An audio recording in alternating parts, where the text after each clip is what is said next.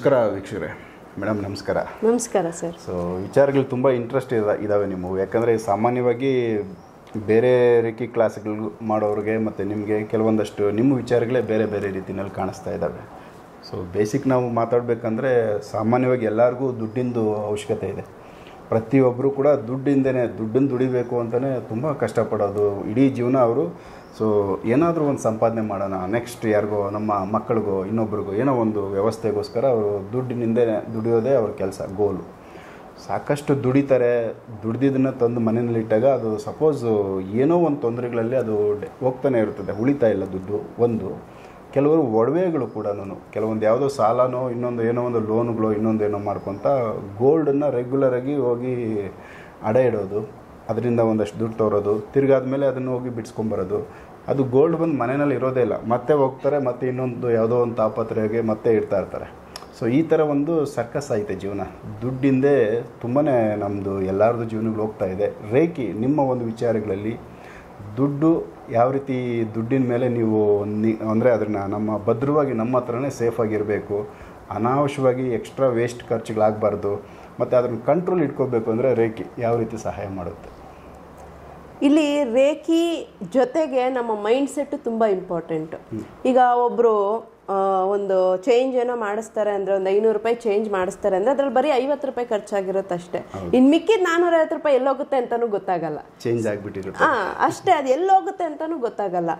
ಅಥವಾ ನಾನೂರೈವತ್ತು ರೂಪಾಯಿ ಕೈಯಲ್ಲಿರುತ್ತೆ ಅದನ್ನ ಯಾವ ಥರ ಸೇಫ್ ಮಾಡಬೇಕು ಅಂತಲೂ ಗೊತ್ತಿರಲ್ಲ. ಅದು ಐವತ್ತು ರೂಪಾಯಿ ತಗೋತಾರೆ ಇಲ್ಲ ನೂರು ರೂಪಾಯಿ ತಗೋತಾರೆ ಮತ್ತೆ ಚೇಂಜ್ ಆಗೋಗುತ್ತೆ. ಅಂದರೆ ಅದು ಕಳೆದೋಗುತ್ತೆ.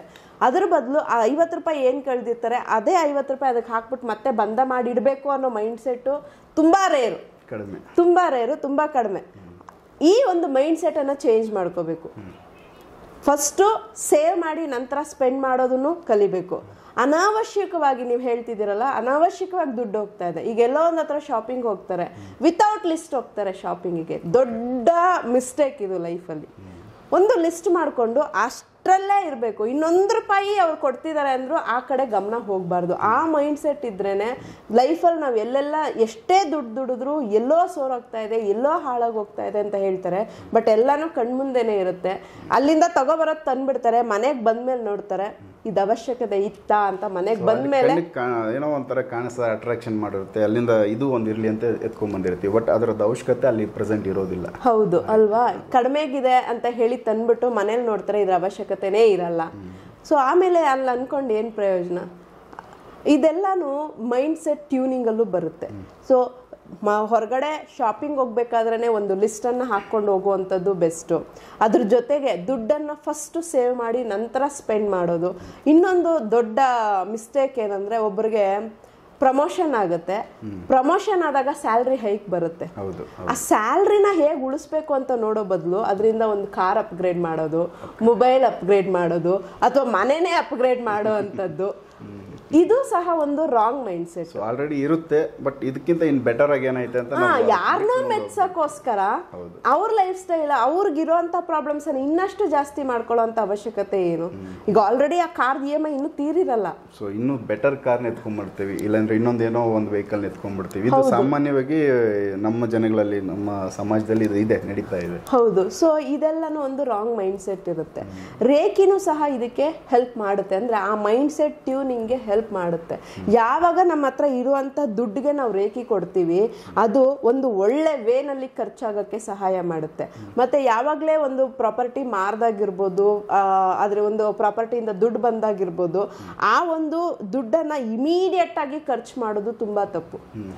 ಅದಕ್ಕೆ ಎಮೋಷನ್ಸ್ ಕನೆಕ್ಟ್ ಆಗಿರುತ್ತೆ. ಸಡನ್ ಆಗಿ ಅದನ್ನ ತಗೊಂಡೋಗಿ ಎಲ್ಲ ಹಾಕ್ಬಿಡೋದು ಮತ್ತೆ ಸಿಗಾಕೊಳ್ಳೋವಂಥದ್ದು ಅಷ್ಟು ಬಂದಿರೋಂಥ ದುಡ್ಡು ಲಾಸ್ ಆಗೋವಂಥದ್ದು. ಈ ತರ ಎಲ್ಲ ಪ್ರಾಬ್ಲಮ್ಸ್ ಅನ್ನ ಜನ ಫೇಸ್ ಮಾಡ್ತಾರೆ. ಅದಕ್ಕೂ ಸಹ ರೇಖಿ ಹೆಲ್ಪ್ ಮಾಡುತ್ತೆ. ಒಂದು ಸ್ವಲ್ಪ ದಿನ ಅದಕ್ಕೆ ಎನರ್ಜಿ ಕೊಡ್ತಾ ಒಂದು ಹತ್ರ ಇಟ್ಟಾಗ ಅದೊಂದು ಒಳ್ಳೆ ವೇನಲ್ಲಿ ಖರ್ಚಾಗುತ್ತೆ ಮತ್ತೆ ಅವ್ರ ಲೈಫ್ಗೆ ಹೆಲ್ಪ್ ಆಗೋವಂಥ ವೇನಲ್ಲಿ ಅಮೌಂಟ್ ಖರ್ಚಾಗುತ್ತೆ. ಮತ್ತೆ ನಮ್ಮ ರೇಖಿ ವರ್ಕ್ಶಾಪ್ ಅಲ್ಲಿ ದುಡ್ಡಿಗೆ ಗ್ರ್ಯಾಟಿಟ್ಯೂಡನ್ನು ಇರೋ ಹೇಗೆ ತಿಳಿಸ್ಬೇಕು? ದುಡ್ಡನ್ನು ಕೈಯಲ್ಲಿ ಇಡ್ಕೊಂಡು ಅದಕ್ಕೆ ಥ್ಯಾಂಕ್ ಯು ಹೇಗೆ ಹೇಳಬೇಕು?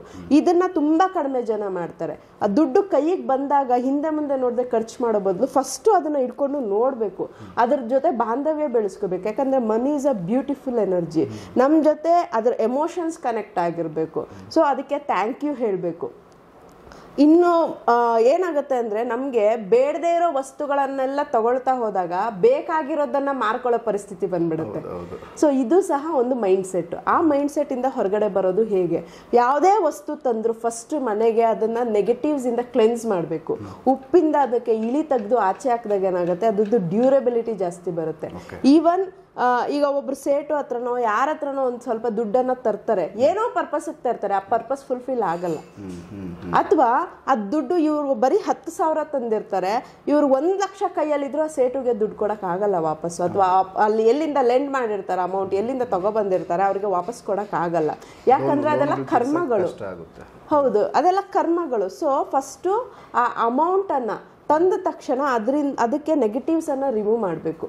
ಅದರದ್ದು ನೆಗೆಟಿವ್ಸ್ ರಿಮೂವ್ ಮಾಡಿದ್ಮೇಲೆ ನೀವು ಯಾವಾಗ ಅದನ್ನು ಉಪಯೋಗಿಸ್ಕೋತಿರೋ ಡೆಫಿನೆಟ್ ಆಗಿ ನಿಮಗೆ ಬೇರೆ ಅಮೌಂಟ್ ಬಂದಾಗ ಅವ್ರಿಗೆ ತೀರ್ಸೋಕ್ಕಾಗುತ್ತೆ. ಸೊ ಈ ಥರ ರೇಖಿ ಎನರ್ಜಿ ಯೂಸ್ ಮಾಡಿಕೊಂಡು ಅಮೌಂಟನ್ನು ದುಡ್ಡನ್ನು ನೀವು ಒಂದೊಳ್ಳೆ ಪರ್ಪಸಲ್ಲಿ ಯೂಸ್ ಮಾಡೋಕ್ಕೆ ಹೆಲ್ಪ್ ಆಗುತ್ತೆ. ಸೂಪರ್ ಮತ್ತು ಮೇಡಮ್ ನೀವು ಲಾಸ್ಟ್ ಎಪಿಸೋಡಲ್ಲಿ ವ್ಯಕ್ತಿಗಳು ಹೊರಗಡೆ ಹೋಗ್ಬೇಕಾದ್ರೆ ವ್ಯಕ್ತಿಗೆ ನಾವು ಒಂದು ಪ್ರೊಟೆಕ್ಷನ್ ಯಾವ ಥರ ಹಾಕೋಬೇಕು ಬೇರೆ ಒಂದು ಏನು ನೆಗೆಟಿವ್ಗಳಿಂದ ನಮಗೆ ತೊಂದರೆಗಳಾಗ್ದಂಗೆ ನಾವು ಕಾಪಾಡ್ಕೊಳ್ಳೋ ಒಂದು ಟ್ರಿಕ್ಸ್ ತಿಳಿಸಿದ್ರಿ ನೀವು. ಪ್ರೊಟೆಕ್ಷನ್ ಒಂದು ಸೀಲ್ ಹಾಕೊಳ್ಳೋದು ಹೌದು. ಸೊ ಇದು ನೀವು ಹೇಳಿದ್ರಿ ಆಗ ಕಾರು ವೆಹಿಕಲ್ಲು ಮನೆ ಇವುಗಳಿಗೂ ಕೂಡ ಪ್ರೊಟೆಕ್ಷನ್ ಇದೆ. ಅವುಗಳನ್ನು ಕೂಡ ರೇಖೆ ಮುಖಾಂತರ ಮಾಡ್ಕೋಬೋದು ಅಂತ. ಸೊ ಇದು ಯಾವ ರೀತಿ ಮೇಡಮ್? ಸೊ ಮೇಯ್ನ್ ಏನಂದರೆ ಫಸ್ಟು ನಮ್ಮ ವೆಹಿಕಲ್ಸ್ ನಾವು ಎಲ್ಲೆಲ್ಲೆಲ್ಲ ಓಡಾಡ್ತೀವೋ ವೆಹಿಕಲ್ಸ್ ಅಲ್ಲೆಲ್ಲ ಓಡಾಡುತ್ತೆ. ಸೊ ನಮ್ಗೆ ಹೇಗೆ ಅವರ ಕಂಟಾಮಿನೇಷನ್ ಆಗುತ್ತೆ ಡ್ಯಾಮೇಜ್ ಆಗುತ್ತೆ ಸೇಮ್ ವೇ ವೆಹಿಕಲ್ಸ್ಗೂ ಆಗುತ್ತೆ. ಹಾಸ್ಪಿಟ್ಲ್ಗೆ ಹೋಗಿ ಬರೋದಿರ್ಬೋದು ಸ್ಮಶಾನಗಳಿಗೆ ಹೋಗಿ ಬರೋದಿರ್ಬೋದು, ಇಲ್ಲ ಮೂರು ದಾರಿ ಕೂಡಿರೋ ಹತ್ರ ಓಡಾಡೋದಿರ್ಬೋದು ಎಲ್ಲಾದ್ರಿಂದ. ಉಪ್ಪಿಂದ ಇಳಿ ತೆಗ್ದು ನಾರ್ಮಲಿ ನಾವು ಹಳೆ ಕಾಲದಲ್ಲೆಲ್ಲ ಪ್ರಾಕ್ಟೀಸ್ ಮಾಡ್ತಿದ್ವಿ. ಒಂದು ಉಪ್ಪಿಂದ ಎಡಗೈಯಿಂದ ಏಳು ಸಲ ಅದಕ್ಕೆ ಆಂಟಿ ಕ್ಲಾಕ್ ವೈಸ್ ಇಳಿನ ತೆಗೆದು ಬಿಸಾಕುವಂಥದ್ದು. ಈ ಅಮಾವಾಸ್ಯೆ, ಹುಣ್ಣಿಮೆಗಳಲ್ಲಿ, ಅಥವಾ ವಾರದಲ್ಲಿ ಒಂದಿನ, ತುಂಬ ಓಡಾಡ್ತಿದ್ದೀರಾ ಅಂದರೆ ವಾರದಲ್ಲಿ ಒಂದಿನ.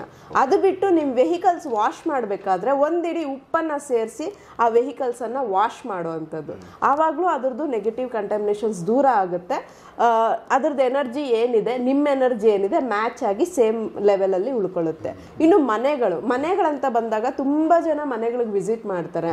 ದೃಷ್ಟಿ ಆಗೋದು ಜಾಸ್ತಿ ಇರುತ್ತೆ. ನೀವು ಒಂದೊಳ್ಳೆ ಎನ್ವಿರಾನ್ಮೆಂಟಲ್ಲಿ ಇದೆ ಮನೆ ಒಂದೊಳ್ಳೆ ಏರಿಯಾದಲ್ಲಿದೆ ಅಥವಾ ಚೆನ್ನಾಗಿ ಕಟ್ಸಿರ್ತಾರೆ ವಾ ಏನಪ್ಪ, ಪರವಾಗಿಲ್ಲ, ಚೆನ್ನಾಗಿ ಕಟ್ಟಿಸ್ಬಿಟ್ಟಿದ್ಯಾ? ಅಂದರೆ ಮುಗೀತು. ಅವತ್ತೆಲ್ಲ ಮನೇಲಿ ಕಲಹಾನೆ. ಸೊ ಈ ಥರ ಅಂದ್ ಆ ಒಂದು ಎನ್ವಿರಾನ್ಮೆಂಟನ್ನು ತೆಗಿಯೋದಂದ್ರೆ ನಾವು ಉಪ್ಪಿನ ಉಪ್ಪನ್ನು ಯೂಸ್ ಮಾಡಿಕೊಂಡು ಮನೆ ಒರೆಸೋದಿರ್ಬೋದು ಇಲ್ಲ ಅಂದ್ರೆ ಮನೆಗೆ ಕೆಲವೊಂದು ಸಲ ಉಪ್ಪಿಂದ ಇಳಿ ತೆಗಿತೀವಿ. ನಾವು ಅಮಾವಾಸ್ಯೆಗಳಲ್ಲಿ ಅಂಗಡಿಗಳಲ್ಲೇ ನೋಡಿರ್ತೀರ ನೀವು. ಸೌತೆಕಾಯಿಂದ ತೆಗಿತಾರೆ ಕೋಕೋನಟಿಂದ ತೆಗಿತಾರೆ. ಹಾ ನಿಂಬೆಹಣ್ಣಿಂದ ಈ ಥರ ಮನೆಗೂ ಸಹ ಅಮಾವಾಸ್ಯೆಗಳಲ್ಲಿ ಒಂದು ಇಳಿ ತೆಗೆದು ಹೊರಗಡೆ ಹಾಕೋದ್ರಿಂದ ಮನೆ ದೃಷ್ಟಿ ದೂರ ಆಗುತ್ತೆ. ಇದು ಬರೀ ದೃಷ್ಟಿ ಅಂತಲ್ಲ, ಮನೆಯಲ್ಲಿ ಮಕ್ಕಳ ಆರೋಗ್ಯ ಹಾಳಾಗುತ್ತೆ, ದೊಡ್ಡವರ ಆರೋಗ್ಯನೂ ಹಾಳಾಗುತ್ತೆ. ದೃಷ್ಟಿ ಯಾವಾಗ ಆಗುತ್ತೆ? ಸೊ ಮನೆಯಲ್ಲೂ ಸಹ ಮನೇಲಿ ಇರುವಂತಹವರು ಸಹ ಅವ್ರದ್ದು ಎನರ್ಜಿ ಸಿಸ್ಟಮ್ ಇಂಬ್ಯಾಲೆನ್ಸ್ ಆಗುತ್ತೆ. ನೀವು ಮನೇನ ಯಾವಾಗ ಕ್ಲೆನ್ಸ್ ಆಗಿ ಇಟ್ಕೋತೀರಾ? ಹೆಲ್ದಿಯಾಗಿ ಇಟ್ಕೋತೀರಾ? ಮನೇಲಿ ಇರೋರು ಅಷ್ಟೇ ಹೆಲ್ದಿಯಾಗಿ ಇರ್ತಾರೆ. Super madam. ಇದೆಲ್ಲ ತುಂಬ ಬೇಸಿಕ್ ವಿಚಾರಗಳು. ಪ್ರತಿಯೊಬ್ಬರ ಜೀವನದಲ್ಲಿ ಇದು ಅವಶ್ಯಕತೆ ಇದೆ. ಅವಶ್ಯಕತೆ ಯಾಕಂದ್ರೆ ಎಲ್ಲರೂ ಒಂದೇನೋ ಒಂದು ತೊಂದರೆಗಳಲ್ಲಿ ಸಿಕ್ಕಾಕೊಂಡಿರ್ತಾರೆ. ಸೊ ಅಲ್ಲಿಂದ ಹೊರಗಡೆ ಬರಬೇಕು ಅಂದರೆ ಒಂದು ಮನೆನೂ ಮತ್ತು ನಮ್ಮ ನಾವು ಓಡಾಡೋವಂಥ ವೆಹಿಕಲ್ಗಳು ಇವೆಲ್ಲ ಸೇಫ್ಟಿ. ಸೊ ಇದು ತುಂಬ ಒಳ್ಳೆ ಚೆನ್ನಾಗಿ ನೀವು ಆ, ಒಂದು ಟಿಪ್ಸ್ ಕೊಟ್ಟಿದ್ದೀರ ನಮ್ಮ ವೀಕ್ಷಕರಿಗೆ. ಸೊ ದುಡ್ಡು ಯಾವ ರೀತಿ ಉಳಿಸ್ಕೋಬೇಕು? ಕೆಲವೊಂದು ಸರಿ ನಾವು ಗೊತ್ತಿಲ್ಲದೇನೆ ಖರ್ಚುಗಳಾಗ್ಬಿಡ್ತವೆ. ನಮ್ಮ ಹತ್ರಕ್ಕೆ ಯಾವುದೋ ಒಂದು ದುಡ್ಡು ಬಂದಾಗ ಸೊ ಅದನ್ನು ಯಾವ ರೀತಿ ನಾವು ಮೇಡಮ್ ಅವ್ರು ಹೇಳ್ದಂಗೆ ಅದನ್ನು ಸೇವ್ ಮಾಡೋ ವಿಚಾರಗಳು. ತುಂಬ ಚೆನ್ನಾಗಿ ತಿಳಿಸ್ಕೊಟ್ಟಿದ್ದಾರೆ. ಸೊ ಈ ವಿಡಿಯೋಗಳು ಸಾಕಷ್ಟು ಜನಕ್ಕೆ ಹೆಲ್ಪ್ ಆಗ್ಬೋದು ಅಂತ ನಾವು ಅಂದ್ಕೊತೀವಿ ಮತ್ತಷ್ಟು ನಿಮ್ಮ ಸ್ನೇಹಿತರಿಗೂ, ನಿಮ್ಮ ಸಂಬಂಧಿಕರಿಗೂ ಈ ವಿಡಿಯೋಗಳು ಶೇರ್ ಮಾಡೋ ಮುಖಾಂತರ. ಸೊ ಎಲ್ಲರೂ ಇಲ್ಲಿ ಆರೋಗ್ಯವಾಗಿ ಒಂದು ಬೇಸಿಕ್ ವಿಚಾರಗಳನ್ನ ತಿಳ್ಕೊಂಡಂಗೆ ಆಗುತ್ತೆ. ಸೊ ನೆಕ್ಸ್ಟ್ ಇನ್ನೂ ತುಂಬ ವಿಚಾರ ಮೇಡಮ್ ಅವ್ರ ಹತ್ರ ಇದ್ದಾವೆ ಅವುಗಳನ್ನ ಹಿಂಗೆ ಎಪಿಸೋಡ್ ಮುಖಾಂತರ ನಾನು ಮಾತಾಡಿಸ್ತಾ ಹೋಗ್ತೀನಿ. ಸೊ ಎಪಿಸೋಡ್ ನೋಡ್ತಾ ಹೋಗಿ. ನಮಸ್ಕಾರ ಅಕ್ಷರ ನಮಸ್ಕಾರ.